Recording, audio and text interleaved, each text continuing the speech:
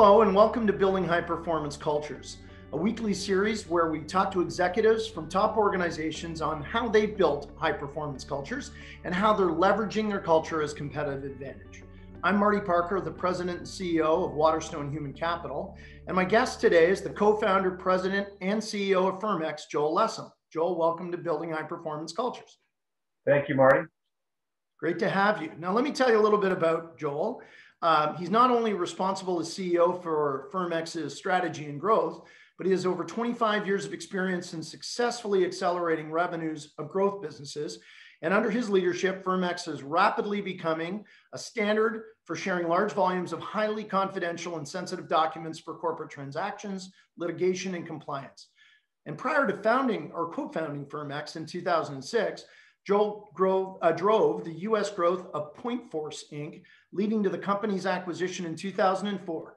And in 1999, he co founded Crescent Logic, a software company that provided online equity research publishing tools for investment banks. Now, Joel, for people who aren't familiar with Firmex's culture, tell us about uh, the company and the culture you've built there. Sure. Well, um, you know, Firmex is a software company. We're known as a SaaS software company, so software as a service. Uh, as you mentioned, we, we provide a facility to share confidential documents for due diligence and compliance purposes. Um, we are, uh, and that's a niche market. It's called virtual data room. Uh, it's a probably $800 million global market and growing. And we're the, uh, the only one out of Canada. We're primarily an exporter. Uh, about 70% of our customers are from outside of Canada. Uh, we have an office both in Toronto and London, England. And so that's the that's the nature of the business, and it's uh, you know been growing very nicely, both uh, you know top and bottom line. So that that's a the, there was a commercial. Certainly, you know, I wrote the business plan in 2005, and it was a new category, believe it or not. Not probably not that unbelievable given its technology in 2005, and uh, started a business with uh, two other co-founders. And this sort of relates to your question about culture you know, uh, I I, um, I actually started a company, as you mentioned, Crescent Logic, and I was working 18 hours a day and eight hours a day on weekends, and um, it just wasn't sustainable. And I didn't have a family at that time. I didn't have kids or anything. Um, if I had I had a relationship that fell apart as a result. So I, I learned my lesson that, you know, when you when you build a company, you really got to build it in a sustainable way and fortunately, you know, I was just starting a family when we started Firmex, and my two other co-founders also had young kids. And we we said, you know what, we're going to build an environment that respects people not just for the work they do, but for who they are and you know people that they need to care about at home. And that really, I think, was you know one of the cornerstones of our of our culture. So t- I'd like you to build on that a little bit and talk, you know, how you and your co-founders approach the culture, not just at the beginning uh, from a sustainable standpoint, but as you were building the organization. Yeah. So, you know, first of all, you know, the leadership is really critical, the character of the leadership. Um, and the three of us, uh, Rob, Randy, and myself, you know, I, I would say we were, uh, you know, self-aware, empathetic people, and that's you, you can't you can't really develop a, or enable a good culture if the leaders aren't self-aware and you know open to um, you know uh, recognizing their own faults and so forth and so on. And so with that foundation, fundamentally, you know, what what I've what I've learned and what I believe is that if you hire other people with similar attributes, they will they will they will fundamentally drive your culture. It's it's it's or they will let it they will it will flourish. And to some extent, it's important for the leadership to almost stay out of their way. And and um, you know, I, I, like to say sort of one of our values is humor and humorously when I when I get I do onboarding for for new employees. We have 110 employees, and I say we, we hire people that are curious, driven, and um, you know really uh, empathetic. And manager's job is not to demoralize. Uh, but you know, there's some truth to that. You know, you've got to have, you've got to let those people have the freedom and uh, autonomy to to uh, contribute. You talked, uh, Joel, you know, on the on the outset of this discussion about your, you know, about about building a sustainable culture around people's lives and family. Yeah. So, you know, I you, you talk about your own experience, but how did you continue to commit to building and sustaining that kind of great corporate culture over time?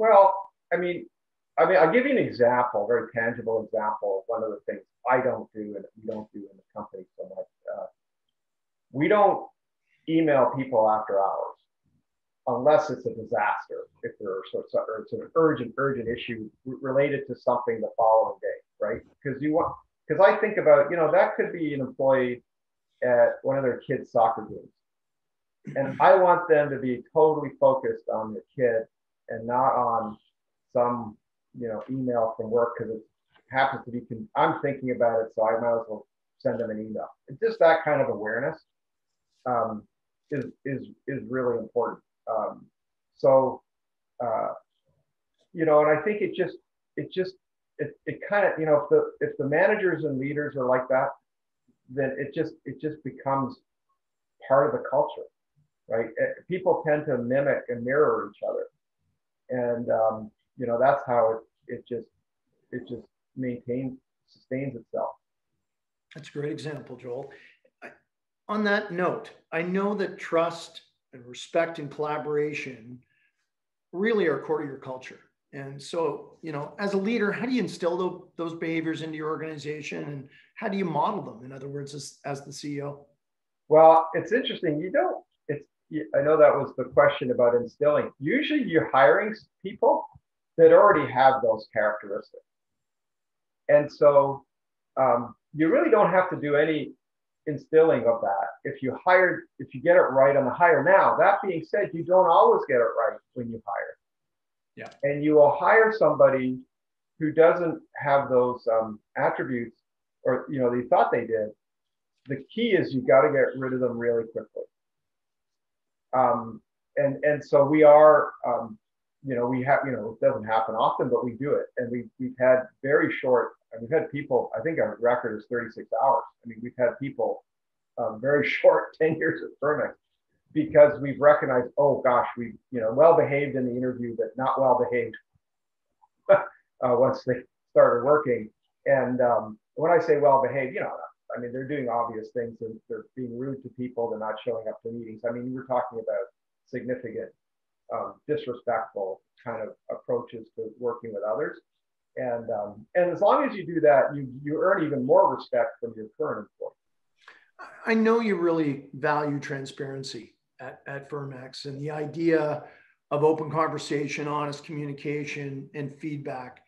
Uh, and it's really woven through your 2020 Canada's Most Admired Corporate Cultures um, submission, which you have been announced now as a winner. So, congratulations. But talk about kind of that approach to uh, leadership communication and how you really foster transparency uh, in the organization.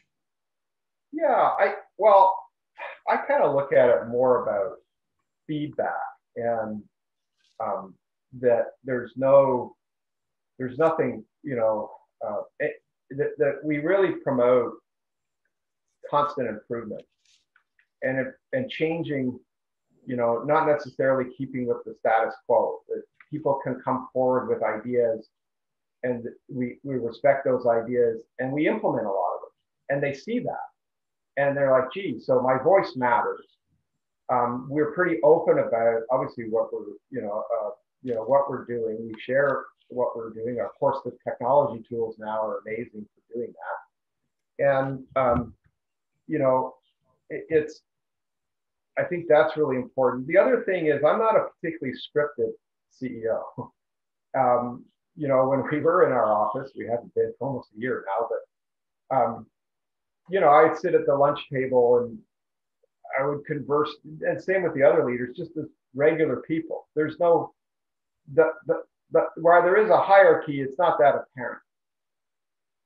um, I, I, I can be self-deprecating at times. I can be, you know, I had a great advice once from a, a coach who said, um, you, you got to be able to be vulnerable to instill trust. And, and, and, you know, um, when I, there are things that I thought might have been a good idea once and realized it wasn't as good an idea. And I'll be very open about it. And, and that puts everyone at ease and they, everyone feels comfortable about being transparent, whether how they feel or what they think about various initiatives across the country. Yeah, well, that's a great a great example. You know, we, we have a, a, leadership training program called Building High Performance Teams and Cultures, and vulnerability is what we call building an environment of psychological safety comes through vulnerability. And you can see sometimes leaders going, "Really? I mean, if I open up about myself, am I not so exposed that people maybe think I'm too familiar or don't have, you know, the admiration for me. And it's really not about that at all. It's about trust. And you build trust through shared experiences and time. And when one is more vulnerable, you, you ameliorate the time component and the shared exp- experience. So it, it, it's a, it's a really great example and uh, uh, appreciate you sharing it because it's, it's certainly a difference maker in, in the organizational leadership landscape today. Um, what you know when you're assessing you know looking for people or assessing those behaviors uh, that that you would determine high performance in the firmex culture you know how do you go about that how do you find those things that are going to make people both successful but also a fit well i'll start with a fit i mean i i have a bit of an unusual interview question when i start an interview i say what are the things in the world that you are most interested in? And really, what I'm testing for is curiosity. Mm-hmm. It's one of the attributes, and they're and, and, they're always like, "Oh, that's I've never got that question before it started," because you know they usually go through their education or employment or something. And um, what I'm really trying to understand, and of course, then we'll go into, well, tell me more about that, and, and is there is there curiosity? Is there critical thinking? Is there is there drive? Is there passion for topics? And, and i don't really care what topic it is but is, is, there um, and so because i'm looking for drive i'm looking for curiosity um, i'm looking for critical thinking. And then of course you're looking for um, you know uh, empathy and emotional um, qualities, which I usually leave to, we have multiple people to interviews and I have other, Sarah, her HR is looking for those qualities. I'm looking for the curiosity and drive. And so those are the key sort of fit. I think for anyone to be successful in any role, they've got to have those uh, for, for most roles, and certainly in, in, in our, our business. Those are really important attributes. The other thing I would say, though, once they're in the working and if they want to be i mean success is sort of a loaded word is what does success mean? You know you can be an individual contributor and very successful at what you do. Um, uh, i would say at an executive level so a lot of people will say well success means um, going uh, being promoted. I, am not sure i completely agree with that but um, i would say though that the, what i do notice with people is that uh, some people are very good at executing a plan so, uh, or following a plan and executing a plan. Uh, and then sometimes they make the leap because we hire a lot of young people where they start creating the plan. And the plans are have some kind of innovation in them. And they may even be transformative to the organization. And I think those are the the sort of the step change in a lot of staff is they can go from just following a plan to creating a plan. Joel, how do you uh, how do you identify and support kind of the future leaders? they could be the current leaders, but how do you make sure that you're kind of keeping an eye on on on this person or that and helping them develop into kind of the leaders that that either they want to be or you think they can be? Well, so one thing I have learned, and we have a, a lot of our leadership started in entry level roles at our company. And you know, we've been operating for you know, close to 14 years or so. And so, you know, we've been around long enough to develop people. Uh, and so you see leaders that started in you know 10 years later at a you know leadership position where they've got 10 or 15 people rolling up to them. So um, and one thing I've recognized is that um, your existing employees have tremendous institutional knowledge, and if you can, ha- you know, the, the, the, ones that show certainly aptitude and drive, if you can develop, you know, teach them new skills, um, they can they can be extremely effective. They are extremely effective managers. Uh, there's, um, in my view, a lot less, um, a lot higher probability of success.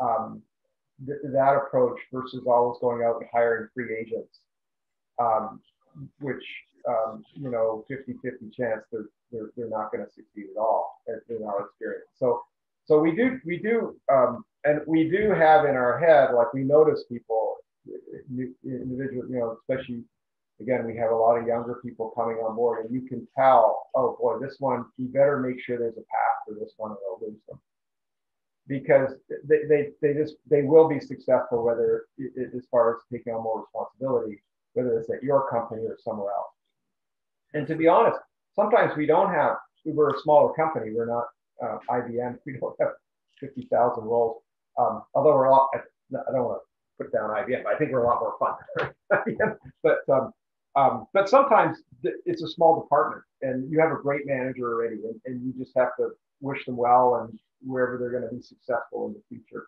Um, and they and uh, I, I, think it's really good too. We get we have a lot of former employees who refer new employees. We just didn't have space for them, and but you know we're, they're still you know big fans of the company, and and um, you know that's always I, am always really pleased when when I when I see that just happened this week actually. So uh, we, we, about yeah, that's cool. What do you think the, you know, what do you see as the tools or skills that are vital to the next generational leaders to be successful? Well, well look, I, I, think we've talked about a lot of them about, you know, you know, and, and I actually think about this with, I have a, I have a 13 year old daughter and, you know, she's very emotionally intelligent. She's very mature when it comes to handling conflict and, you know, those things I think are just so critical in in uh, any type of um, you know work environment, um, well, almost any type of work environment, um, and that goes without. That's sort of table stakes. Um, I do think that um, a lot of emerging managers, middle managers we have, don't have a lot of financial um, knowledge, and at an executive level, that's the language of executives. It's certainly at a board level at, at, our, at our company. I mean, everything's about you know revenue and, and, and profitability, and EBITDA, and various financial ratios. And at, at, a business level, that becomes really, really critical. And so they've got to really move from the tactical to the strategic, but along the way, they've got to be able to couch uh, a lot of the results of their activity in financial language. And, and that's something that I find most of them will have to have to learn. They don't come out of university with it. Yeah, right. I, I see that too. Um, how is Firmex manages managed through all these challenges and opportunities that have surfaced really for all of us and all organizations over the past year with the with the pandemic? You know, what are you um, what are you most maybe proud of, and what have been the biggest obstacles that you've uh, that you've had to kind of find your way through, Joel? You know, it was really pretty seamless. The the the, the question, of course, was how the, the work the work thing didn't really change at all. We altered, of course, we had a check, each department had check-ins once or twice a day, you know, 9 30 and 4, just so people felt connected. And um, but the real the other the real question, of course, with, with our shareholders and, and you know, it's like, wow, how's this going to affect our business? And that was everybody sort of, you know, we were all kind of deer and headlight almost, but we were, we were in really good financial shape and we, um, we, we could be patient and, um, it was, it was far less impactful than, than we could estimate. And uh, result, we, we didn't have to do any um, corrective actions. Um, you know, no no layoffs, no reduction in wages, and business actually is um, doing just fine. In fact, our world, which are you know M&A advisors and deal makers, they've adapted to working through video rather than getting on airplanes. And, and um, you know, the business is, is very strong at the moment, even though we're in lockdown. So we were really fortunate. We were one of those industries or, or businesses that, that is pandemic resistant. So I think that makes it a lot easier. Whereas I have um, people I know who are in the restaurant or event business where, you know, it's been a, a totally different story. Yeah, really difficult. And, and through through this time, Joel, what, what have you really learned about the Firmex culture? Well, um, you know, I, look, it, it's always been a very um, positive culture. Um, that hasn't changed. Uh, I, I, do think, though, the lockdown does impact culture, and not in. I, I think it's more fun when you're together. um, pe- people, people, it's interesting. So we did a survey of our staff, and we asked them, "Do you want your primary?" Because in Toronto, we have an office in Toronto and London. London's different because they live close to the office, and it's a younger uh, demographic and they, they, they like coming into their office. They ride in on their bicycles. In Toronto, because people you know started families and they moved to um, the outskirts, and, and, housing is extremely expensive in Toronto. Um, you know, the commute, losing the commute was actually a tremendous benefit to the staff, um, to their to their health. Uh, you know, you save you know a few hours a day, especially if you're running juggling kids and and so we, re- we recognize that we can trust people to work outside of the office. And, and they, we can, in fact, I would argue we're probably even more productive, um, less distractions. What they miss isn't working in the same office. They miss getting together as people. They do. And, and so um, 95% said they like their primary desk at home, 5% in the office. But they really miss the parties and the social events and, and so forth and so on. So that's really a, a, a COVID issue right now. And when that hopefully subsides in the future, um, you know, the culture will will get that back. Yeah. Yeah, agreed. And Joel, we we do work in kind of culture transformation, as you know, and and curation. And right now, eh, you're seeing organizations planning, eh, just as you probably are, for when you're in a scenario like that is that that the office becomes the culture building the culture reinforcement the connection place more so than the workplace. And i think the impact is just beginning because you're going to see more and more in you know uh, in information knowledge working organizations like ours uh, that people do still want to connect. They still do want to see each other but less and less will need or want to work in the office on a habitual basis so it just changes what we need to do as leaders in terms of uh, of that. Uh, and you know, we can all just uh, we can all just kind of anticipate what it's going to be like to reconnect. I think right now, but yeah. Uh, but there's more there's more hope than there is uh, than there's not. So we're thankful for that.